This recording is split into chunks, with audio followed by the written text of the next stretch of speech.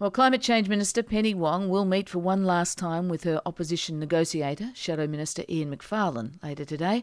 But the opposition won't get the amended emissions trading scheme bill until tomorrow, after federal cabinet signs off on it. Penny Wong joins us now. Minister, welcome to breakfast. Good morning, Fran. Penny Wong, has the deal been done? Look, we're close to finalising the government's position on what we will put to the opposition, and we've certainly done a lot of work with the opposition negotiators, Mr Macfarlane and the others. Uh, so uh, we are nearing the end of this. Obviously, the question will be whether or not what we put uh, is something that the opposition party room will support. So, what have you still to nail down with the opposition when you meet with Ian Macfarlane? Uh, Fran, as you know, I think you've asked me questions like that before. We're not going to uh, transact this in, in public.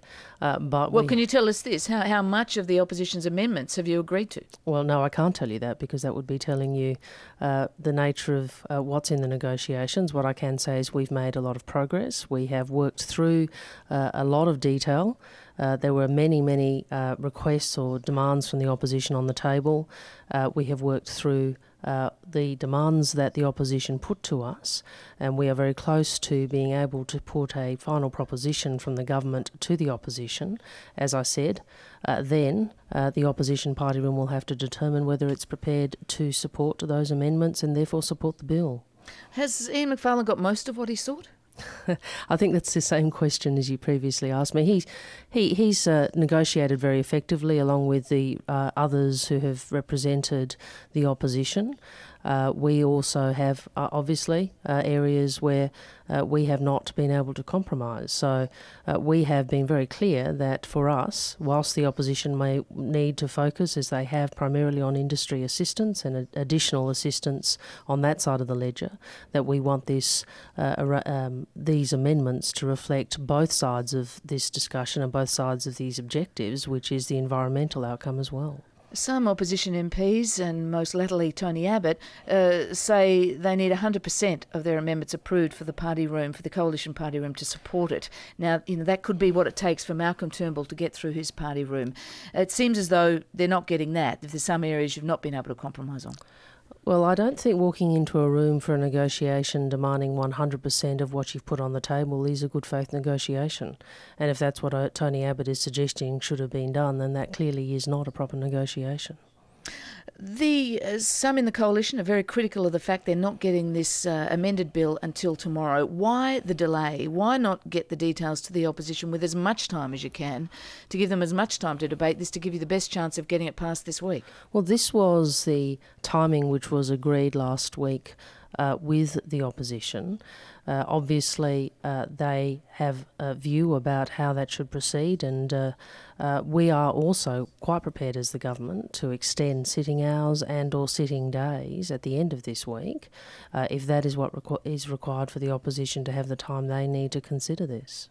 What if you? I mean, there's no great heart for extending sitting hours. People say you could have brought this legislation back in September. It's just that you wanted to set up the conditions for a double dissolution election.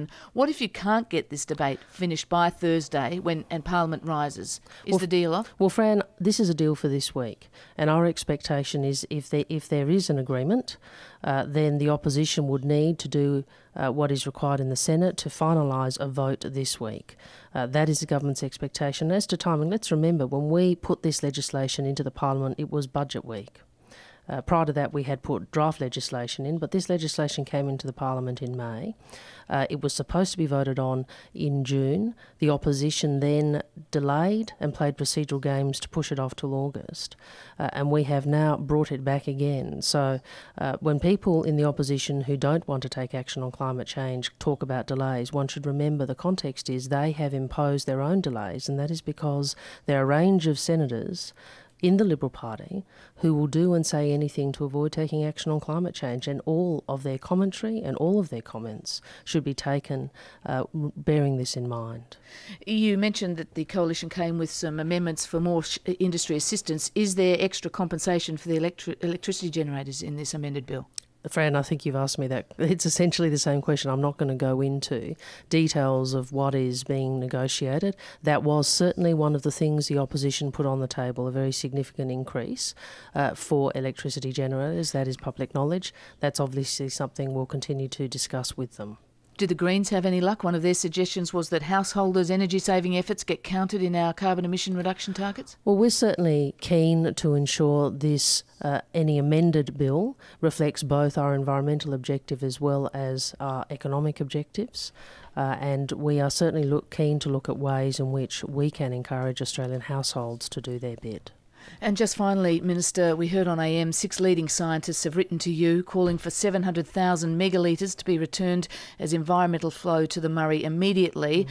Apparently, your, your office, according to that report, has rejected that because it would mean Adelaide would get no water from the Murray. Well, Are we at the point now where we literally have to choose between saving the river or having access to drinking water? Regrettably, we are at the point uh, where water is extremely limited. Uh, what we know is that this report calls for an amount of water that is more than we have diverted for all use in the River Murray for six out of seven last years. So that would mean to get that amount, uh, you would have to not allocate water to any uh, to cities, to towns along the Murray, uh, or you would have to not, and you would have to not allocate water to irrigation. It's uh, uh, would not be a responsible way forward. We have to manage all the various uses at this time responsibly. Uh, let's remember the government has purchased uh, as at 30th of October, over 600 billion litres of water. That's come at a cost to taxpayers of close to a billion dollars. Uh, this is a difficult problem and one we are working to remedy, uh, but it certainly can't be fixed overnight and it certainly can't be fixed by assuming we're simply not going to allow any extraction whatsoever from the River Murray. Minister, thank you very much for joining us. Good to speak with you. Climate Change Minister Senator Penny Wong in our Parliament House studio.